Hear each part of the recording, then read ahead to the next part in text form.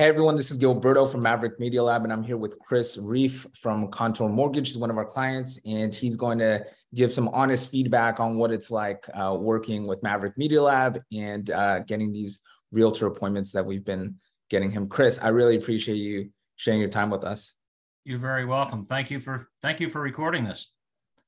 Absolutely. And so, yeah, so just so that whoever's watching this has a little bit more context, can you introduce yourself and kind of tell us a little bit about about who you are? Sure. Uh, I'm Chris Reef. Uh, I've been a residential mortgage banker, which in New, and by the way, always in New Jersey and very eastern Pennsylvania uh, since December of 81. Um, a mortgage banker in New Jersey is, is almost identical to a mortgage broker in California, state by state it's it's more common that there's more bankers in New Jersey, but in New Jersey we're automatically licensed as a broker. So if we want to do non-QM business, we can if we wish, or purely banked business uh, agency stuff. Um, on and off over the years, I've been a President's Club member. I never rode a wave of refinances only. I learned that way, way back that you, you can go out of business doing that. I always made sure I had enough realtor contact that I was continually generating revenue. Uh, and when I say on and off as a President's Club member, I've worked for a company that was acquired by GMAC Mortgage in the mid 80s. I worked for another wonderful mortgage banker out of San Diego, La Jolla. You'd recognize the name if you've been around long enough. It was American Residential, wonderful company until they got acquired by Chase great name, Chase, but you know what happens. A bank acquires a mortgage banker, doesn't always work. On and off, I've been an originating manager four times. I've always preferred managing a pipeline of loans versus managing loans and originating because I never made enough more money as a manager to offset the headaches. It's easier to be an originator and just bring in a few more loans, you'll make the same thing. Um, I'm 69 years old. I've been doing this since 81. And if any of you look back online and in, in the in the a graph online on, on Google that shows you where the stock market's been for 30, 40, 50 years and where the 10-year treasury or 30-year treasury before that bill bond was, you'll see that I'm not the brightest star in the sky. I got into this business in December of 81 when mortgage rates were 17 and 7 eighths percent and three points. You didn't negotiate the points. And you know what? We wrote business. I had a great mentor that helped dramatically in that that man rose in 1977 from a loan officer to 1987. He was the executive VP of GMAC Mortgage, briefly the largest mortgage banker in the US at the time. GM acquired the company we both were with. But anyway, to make a long story short, I got a great I got a, a great footing. I, I stood on the shoulders of a giant, and I love this business. Well, I'm working because I want to work now, not because I have to. Hey, folks, you heard my background. I work now for a company who's not a national company, but we're big. We're a large regional player in 33 states, offices in 29 of those states the states that we're not in, it, we just can't generate enough revenue to make sense and, and a margin. Um, so what happened? I have not originated a single mortgage in four months. Whoa. Now, I don't have to. I won't starve. I've talked to a lot of people. I talk to folks, but every one of them, every potential deal has hair on it. You know what I mean? They're almost qualified, but they they don't make enough to take the deal maybe to a broker and do a non-QM loan. They don't make agency. There's certainly almost no refinancing going on. So that's that's a third to half of every lender's pipeline. I have a lot of people I'm talking to, and I've got a book of business ready to write, but I'm not writing it. So I needed to do something. I've bought leads in the past as an experiment on and off. And in the recent past, the last just three years to see what happens. Buying leads is awful. Realtors generate the good leads. Our industry does not. We generate not such hot leads. You all know that if you bought them. And I went online and I'm now I'm really looking for the first time in my life at solicitors who are telling me they're going to be making me money in, in non-traditional ways. And I stumbled on Maverick, just stumbled on it online. I'm I'm a technician and I'm a salesperson. I'd, I'd be a bigger producer if I wasn't a technician, but that's that's my nature. And my nature is I don't trust necessarily salespeople because I'm one of them. I exaggerate. I, okay. I, I don't lie. I'm compliant, but come on, we exaggerate. We don't tell entire truths ever, do we?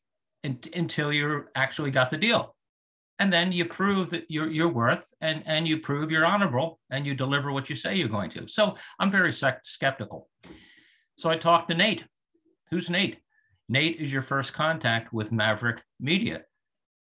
And Nate sounded very truthful. And I said to him, I said, Nate, this is really, really different. This concept of setting up phone conversations with complete strangers, realtors that might have heard my name, but no, don't know me personally.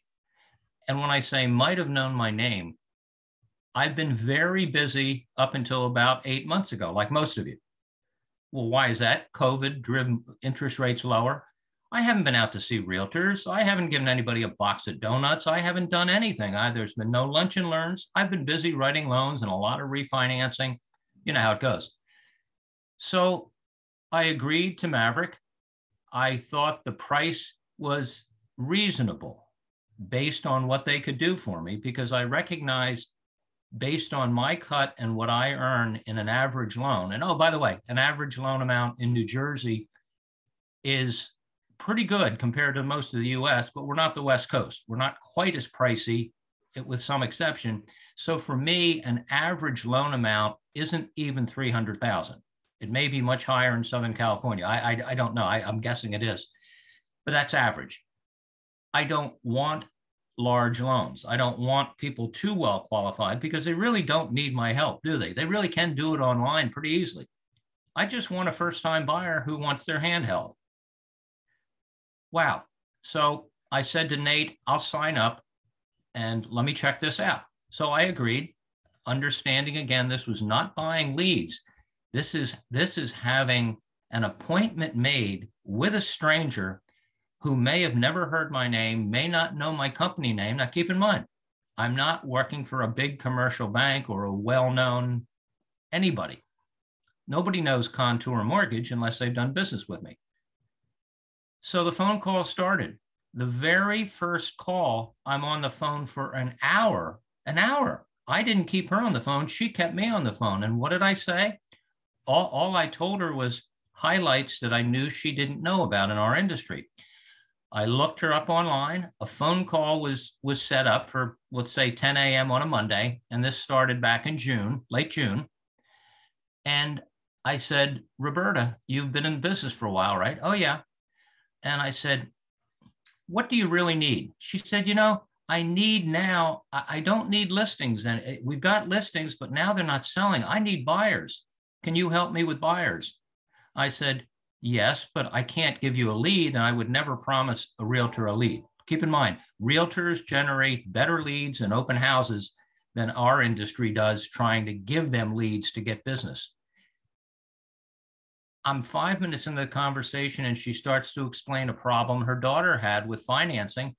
It got solved, but it created some real headaches. And then I explained to her how I would have handled that very briefly. And she said, No one told me that. I, I knew that. And I said, You ought to consider doing business with me. And you know what she said?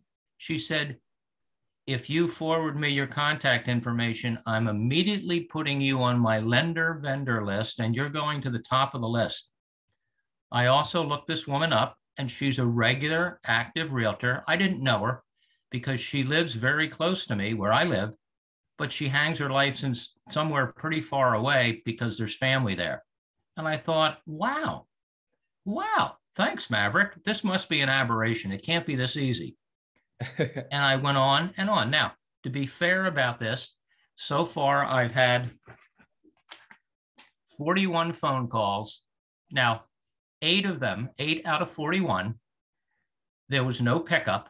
The realtor didn't pick up, and the realtor was reminded of the appointment that we had by Maverick. The appointment was made. Maverick somehow knows exactly marketing wise what to say to an agent to get an agent to talk to a lender. Now, keep in mind, let agents hear from lenders all the time. Lenders drop into open houses. They're always bothered sometimes or entertained by real by by by lenders.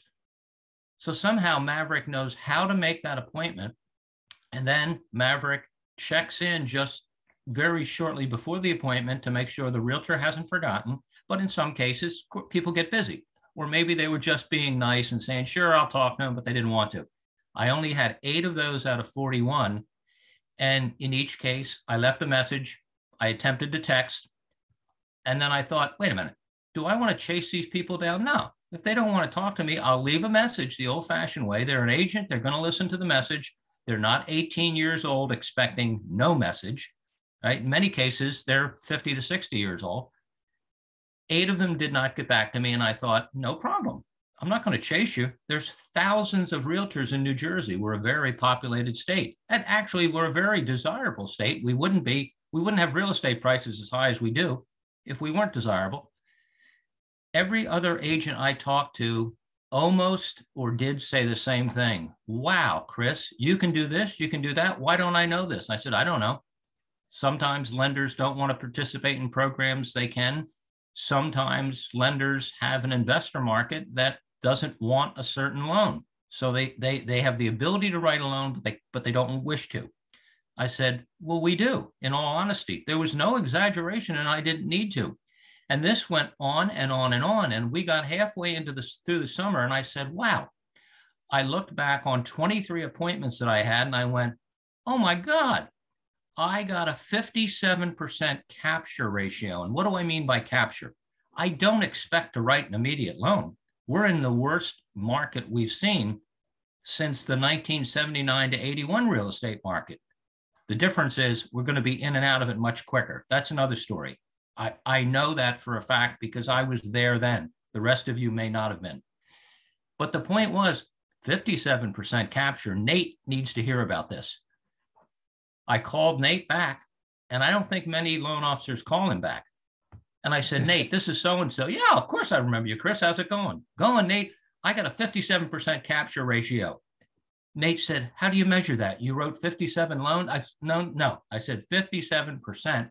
And I said, agents truthfully, not BSing me, said they want to work with me. And I said, Can I immediately put you on my mailing list?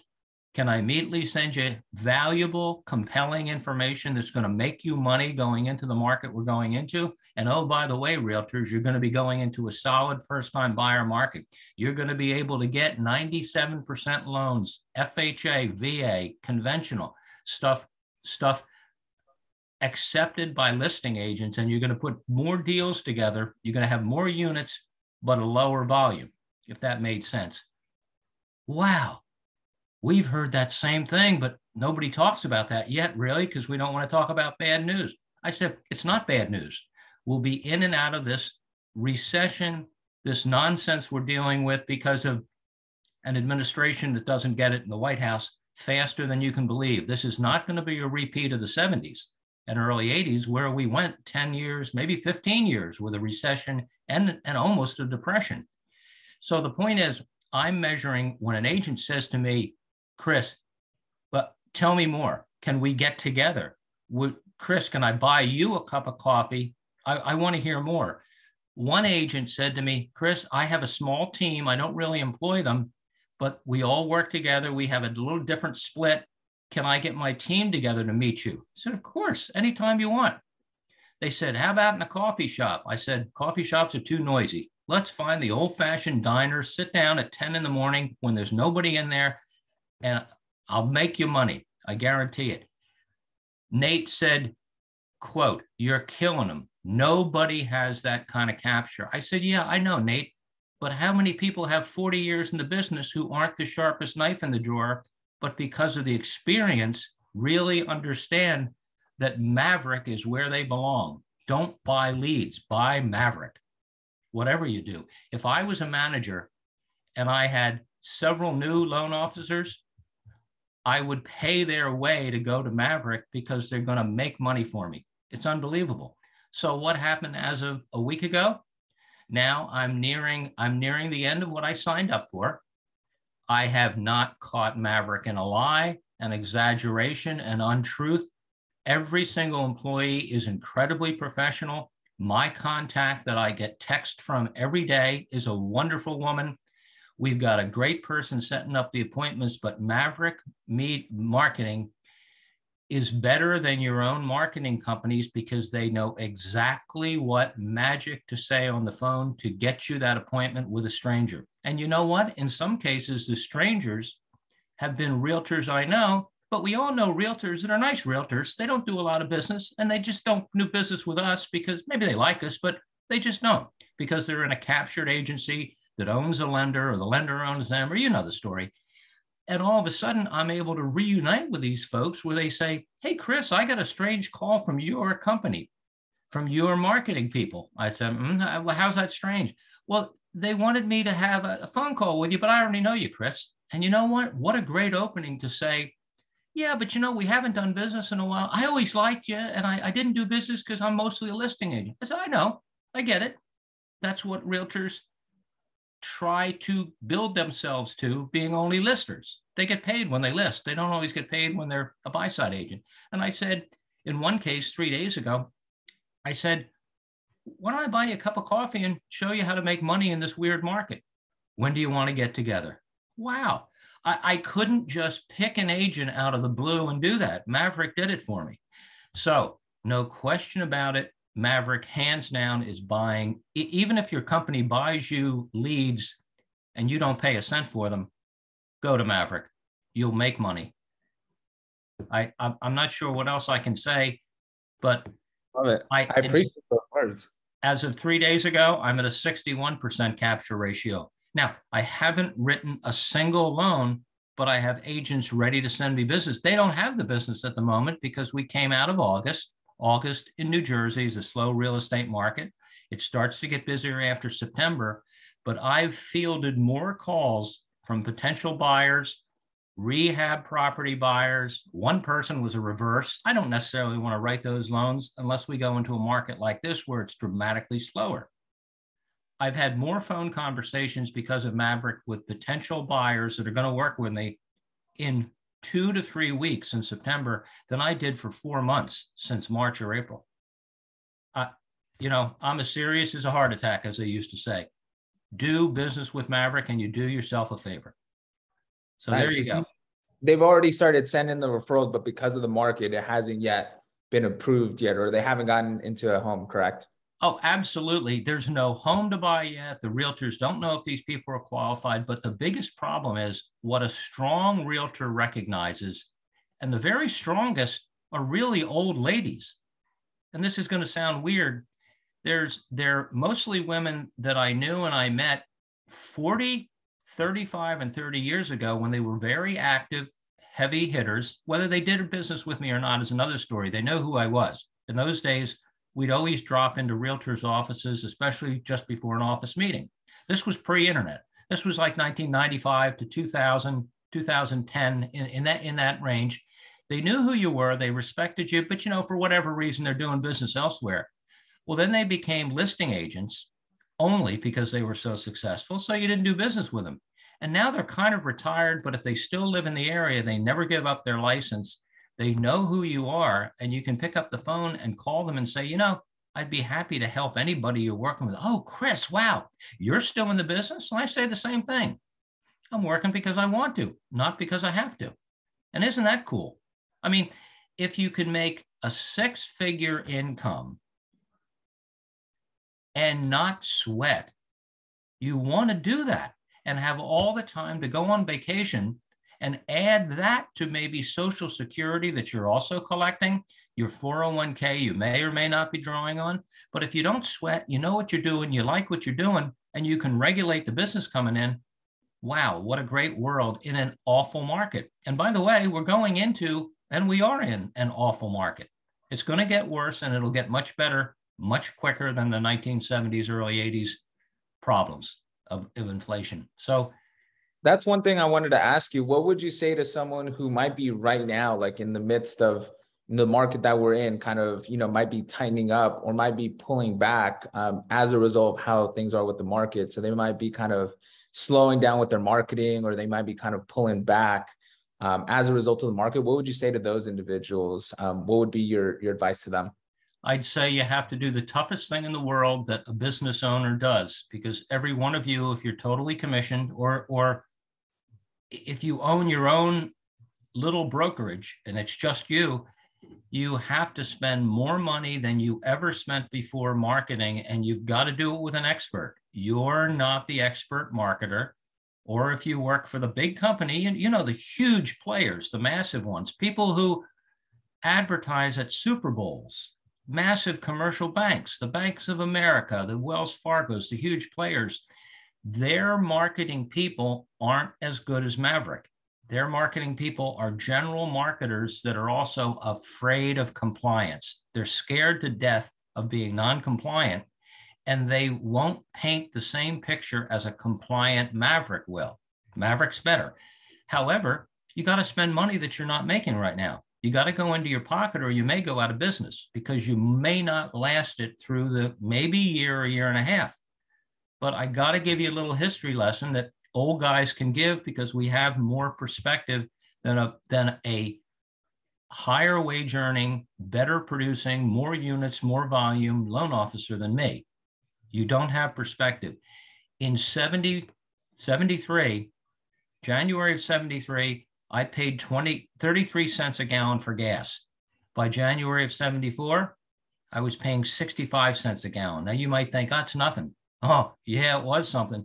That was double. That's what really catapulted the inflation of the 70s that got out of control. And why?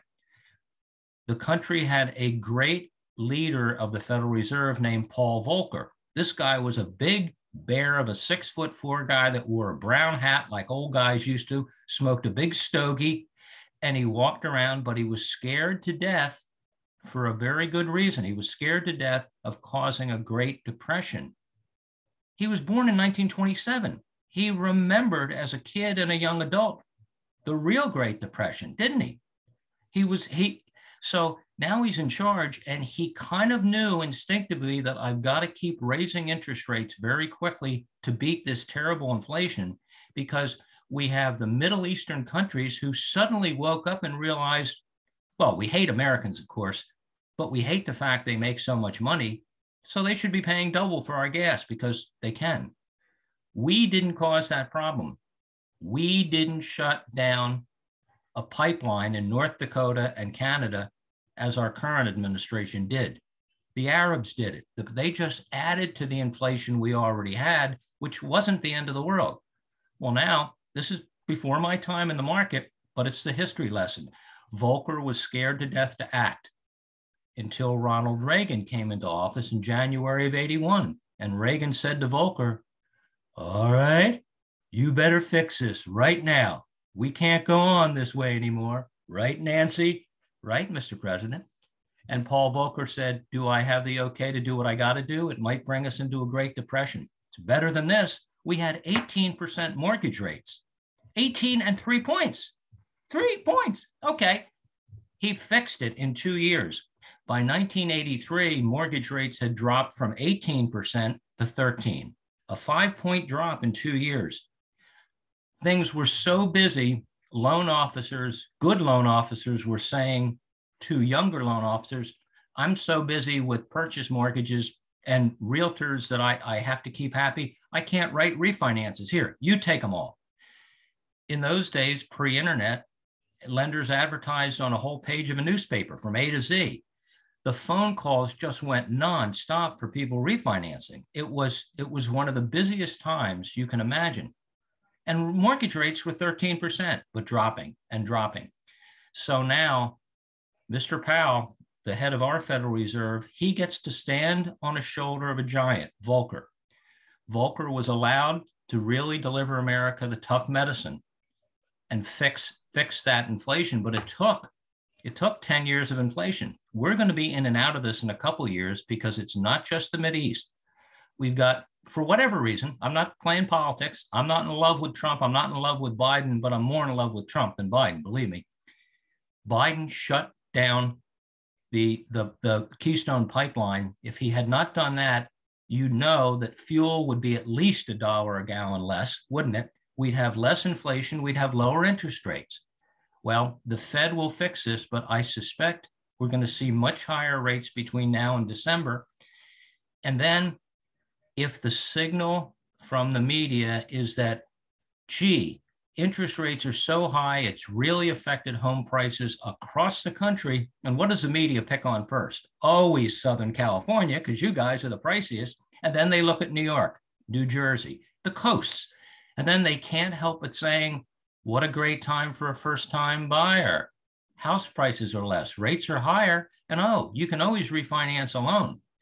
When that signal goes out there, you'll be writing more units than you did the last two years, but smaller loan amounts because they're first time buyers, higher LTVs, more FHA, more Fannie, this and that, and every oddball program that the government has because the sellers will accept those offers that they're not accepting today because we're still, or at least in New Jersey, and I suspect Southern California, we're right at the absolute end of that wild ass seller's market, right?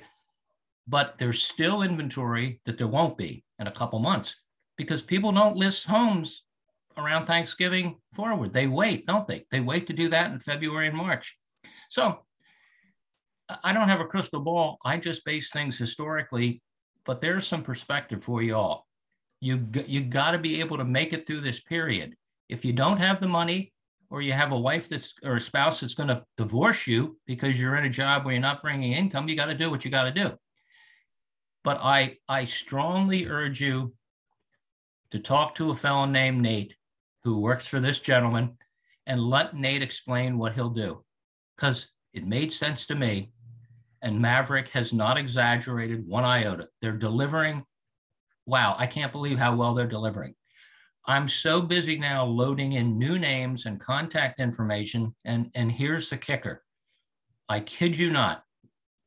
Yesterday, I I had we, we call it today a lunch and learn. We used to call it a seminar. Before Zoom, before the internet, loan officers that were known by a real estate agency, usually a boutique, you know what they're like. They're, they're not the big agencies that have a lender inside. They're just a boutique, but they have their favorites favorite loan officers. I had a I had an assigned call to, to make about a week and a half ago to a very nice lady. And I said, hi, as I start all my calls, gee, hi, this is Chris, Chris Reef with with Contour Mortgage, and you you should be expecting this call. Oh, yes, your marketing, your marketing people called me, which Maverick is my marketing people. And uh, I said, Can I take five minutes of your time? I know it's really precious. And we've got a really interesting program that might make you money going into what's going to become a buyer's market. And I knew who I was talking to because I looked her up online. Oh, a 28 year agent. She was the, she or is the co owner of a small boutique, very small boutique, which is what I want. Okay. And I knew she knew the business. Okay. And she said to me, Well, Chris, sure, I'm in the car. You've got 25 minutes of my time. Wow here's a lady that wanted to hear what I had to say because she had nothing better to do. She's in the car. She's not waiting on another call. She's not doing anything. And all I told her about was a couple kind of unique programs that most of the time our industry doesn't write because they're either too pricey, there's too many negatives, but we actually have the programs. And she said, You could actually do that? I said, Sure, as long as the buyer's qualified. Wow, you need to speak to my office. This was in 15 minutes conversation. And I and I almost said, Maria, you you don't even know me. You want me to come into your office? Wow.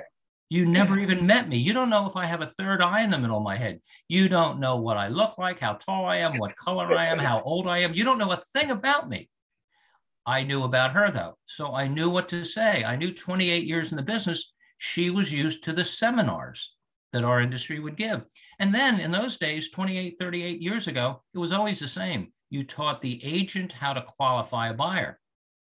Hey, we didn't have a credit report up front before the mid 90s. In the 80s, we got the credit report eventually. We didn't even have a credit report. So agents could qualify a buyer and call you and say, I've got a qualified buyer for a conventional loan putting 5% down. So I had the seminar yesterday in her office, and man, I killed them. Every single person said, Here's my card. Can you send me a little more detail on this program, on that program? We've got we've got buyers we can't get offers accepted. And I said, Here is my opening. I said, I'm not going to guarantee anything because I don't know who you're working with, but I can give you several tools to get an offer accepted on a zero down VA loan, USDA loan, three and a half percent down FHA. I said, if I can show you how to do that, would you do business with me? Absolutely. I said, I just can't email you something. We have to have a cup of coffee. I'll buy you a cup of coffee at the diner. I'll buy you a beer at the bar. I need 20 minutes of your time to explain it. Oh, you got it. So one after the other, there happens to be well, New Jersey, we call it a diner, the old fashioned chrome diner that they built in the yeah. 20s and 30s. I'd prefer to meet people in those locations because they're not noisy like a coffee shop. So, anyway, one by one, I'll meet those agents and really win them over. And then it's just a matter of marketing, isn't it? All I have to do is drip them information. But wow, it wouldn't have happened without Maverick. I, I can't, wow.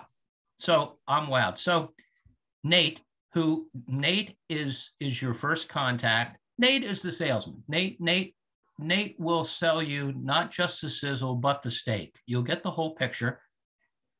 And, and Nate said to me the other day, Would you want to sign up again? I said, Absolutely. But come on, Nate. I, I, I said, I'm not going to sign up now going toward the winter. I said, It'll make people money. If I really needed the money, now keep in mind, I'm not starving if I didn't bring in a single loan, and I haven't in four months. But I said, let me come back to you like in January. So we can do like at least 90 days, maybe six months, and build and build and build so I can pick and choose. Again, I'm a loan officer. I don't want to sweat. I want to pick and choose the loans I want to work with, with the agencies I want to work with, so that I can make six figures, but have a lot of time. Wow. You, you haven't heard a story like that before. Nate, Definitely not. It's definitely unique. Yeah, yeah I, I, also that that you've been in the industry for that long that you know we're you're in a very unique situation that in 79 81 you've you've seen how things are and now you can you know really give your expertise on what things are are moving forward based on on the past as well um, one thing before we, we end off here what do you think over the years um, you've seen a lot of people come and go what do you feel is the i guess top factors that make a loan officer successful and what are the things holding them back from becoming successful loan officers? What, what are those patterns that you see over the years? Uh you know what? Um thankfully i've never had a gambling problem. I know of three huge play when i say huge producers these were massive massive unit guys and for whatever reason I, I didn't hang out with them. I just knew the story. All of them became heavy gamblers and they got in serious trouble and then they had to be non-compliant and do more business to play pay gambling debt. This is really weird because i didn't hang out with them but they got in serious trouble. They got their companies in trouble. And you know as well as i do today if you screw if you screw up and you're not compliant yeah you better do it conventionally not va or fha because you can go to jail and you can close your employer down come on look at compliance problems a player as big as Wells Fargo had nationally, and we can talk about that because on the public news.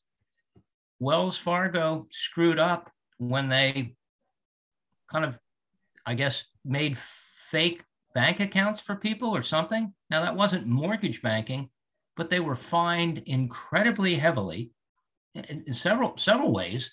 And I saw a documentary on that. Yeah. Yeah. And I, I hate to talk about the competition, but I, I'm just painting a broad picture because it was on the national news. But they did something where our whole industry inadvertently and accidentally helped them do that. That's another story for another day. I'll explain how that happened, but they didn't manage something properly. They didn't manage brokered and correspondent relationships better. So, what about other loan officers? Other other loan other loan officers burn out. They do so much business. They're like they're like young stockbrokers who literally become millionaires with their own efforts and they're working 24 7 and they and they have a heart attack at age 35 and that's not supposed to happen you're supposed to have that at my age not not not at 35 um, yeah. they come and go but the biggest problem and this is preached to by big lenders. Big lenders can look at thousands of originators and tell where the real problems are. The problems are what just happened for the last three years or two and a half years. When we go through a market we never expected to be in because nobody ever would ex- have expected covid come on like some disease from china that it's almost like something out of a stephen king novel the stand isn't it? It's like oh my god. So loan officers ride a wave of refinancing and maybe we should because we pay attention to the business at the moment not the business we're going to get two years from now if you write too many refis and then suddenly every single refi is gone, where are your relationships that are going to send you first time buyers? And now you need 10 first time buyers at the moment to get one offer accepted if it's a 97 or 96.5% FHA loan, right? Because sellers still won't accept those. They will in another 90 to 120 days, by the way. By, by the end of January, you you there'd be ton more closed FHA business and originated FHA. But if you only have refis in your pipeline, then what about the realtors? Who who's going to send you business? Then you have to have enough money, and you got to be like me, an old guy, kind of. Maybe I tend to think of myself as the beginning of old, not the end of old. You you got to have realtors, or you got to have the money to be able to build fresh relationships immediately. And every one of you can do that if you're seasoned with Maverick, because as long as you get the introduction to any realtor, get introductions to five realtors, one of them does some regular business and they'll send you a piece of that. So if you find three of them that do some regular business and you wrote three more loans a month, what's your gross revenue on, on a loan per month? Is it as little as 2,800? multiply that times three and then figure your net take home you'll be able to make it through this this tough period that that chairman powell is going to send us through and get us in and out of quicker. It's not going to be eight years 10 years like volcker.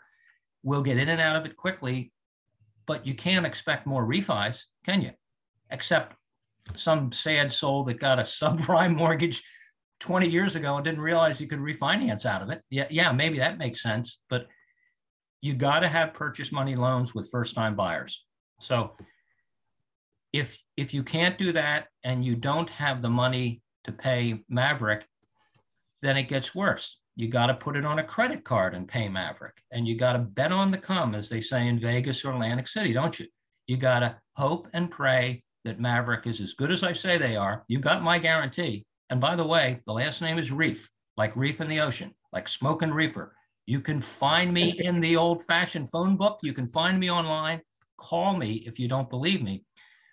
Put the money on a credit card, pay Maverick, get your contacts, and start writing business because the business is going to be there in the spring, even if interest rates are 11%. And I'm, I don't expect that, but who'd expect our president to do the knucklehead stuff he's done, right? Mm-hmm. Whoever, like everything, not just the pipeline, just every move he makes, has caused all this angst. So I don't know. I, I hope I'm being positive and not negative, but I'm, I'm trying to paint the real picture. I'm painting the picture. Of of perspective. Yeah, I, you have a lot of perspective. I also hear that from other clients that have been in the industry for like quite some time. Not as much as you, but you know, let's say 10 plus years, 15, 20 plus. And they'll say a similar thing, how like they didn't really focus that much on on refis. They still did it, but they kept their realtors and they focused on their purchase uh, their purchases because that's really like the long term side yeah. of things. And it seems like you had kind of uh, you you're you're saying the same thing as well, like how important the realtors are for growing your purchase business and in growing that long term uh, mortgage career and uh, oh, stable. Oh, yeah. yeah. Absolutely. Well, I'll say one more thing about realtors that's it's kind of odd. Most industries that are service related or very technical products, technical meaning pharmaceutical sales, um, IT stuff, where you where you really need to be a smart guy and a, gal and a hustler. Most of those industries go out of the way to make friends, be buddies with the people that are going to send them business. and if they're real successful, they want to take them out on their boats. They want to take them golfing. They want to buy them expensive dinners. our, our industry, for the most part, we hate realtors. We dislike them. And no, I'm, te- I'm telling you, it's true. We yeah, dislike them intently. We don't hang out with them. I can think of one in 20 I would like to invite and be my friend. And usually that's someone that doesn't send you business because you're just a nice person or he's a nice guy realtors are awful. They really are, but you gotta you gotta be there with them. You gotta be their buddy. You gotta be a salesman, and you gotta come across so believable, like a commercial we've all seen on TV. You gotta come across like Tom Selleck. He is the most believable senior citizen in this country. And what's he talk about? Mortgages, because they're such a difficult thing to talk about aren't they? But people believe Tom Selleck when he talks about reverses because he's believable. So be be believable. Don't be a weasel. Make buddies with realtors. Do whatever you can because hopefully it's just a few months. It might be a year of very difficult times. You got to get through it to make the money again. Uh, uh, what can I say? We we didn't expect COVID. We didn't expect this administration. Nobody expected the nutty country that we're in, and we're in a wacky nation right now really nutty. So who knows what's around the corner? So perfect. there you go. Perfect note to uh, to wrap it all up. Chris, once again, I really, really appreciate you just sharing everything. You were like extremely detailed about all, all the numbers and everything and, and what your experience has been. So I really appreciate you uh, not only just sharing your time right now, but choosing Maverick as you know the person to help you grow your real uh, your referral partnerships. Well, thank you. Thanks. Thanks for noticing. I, I appreciate it. I appreciate that hearing it from you because based on my research on you personally, you're a superstar. You're hitting it out of the park. And you're a really young guy. I never expected when I saw your picture and I thought, whoa, look at what he's done so far. Do do man, take this like Roy Kroc did with McDonald's in 1955 and do this with every industry that needs a pairing. Loan officers need realtors, realtors need us. Who knows? Maybe the steel industry and somewhere needs a partner. You can do it. You've got the model. It's great. Good for you. Fine. It's only the start now. I know. I know. But you know how to do it. And that's that's the key. McDonald's knows how to do it, but they don't make such a hot hamburger, do they? It's awful. but you know what to expect. You have a wonderful product. Thank you so much, Chris. I, I appreciate you. Good luck.